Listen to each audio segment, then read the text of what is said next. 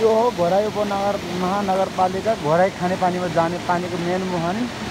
तपाईँ कहिले पनि नदेख्नु भएको छ र तपाईँ घोराइको पानी कहाँबाट खाँदै हुनुहुन्छ? र कस्तो ठाउँमा बाट पानी आउँदैछ? र कस्तो ठाउँको पानी तपाईँ खाँदै हुनुहुन्छ भने एकपल्ट तपाईँ हेर्नुहोस्। यो पानीको ड्याम हो जहाँ पानी अट्नको लागि यो बनाइएको छ। तपाईँले यो राम्रोसँग हेर्न सक्नुहुन्छ। कि पानी कस्तो खोलाबाट आएको पानी? र तपाईँ कति शुद्ध पानी खाँदै हुनुहुन्छ होइन? तपाईँ हेर्न सक्नुहुन्छ यही हो पानी। हेर्नुहोस् जहाँ खोला छ यो। यो सैगाबाट आउने सैगाको झरन पानी हो यो।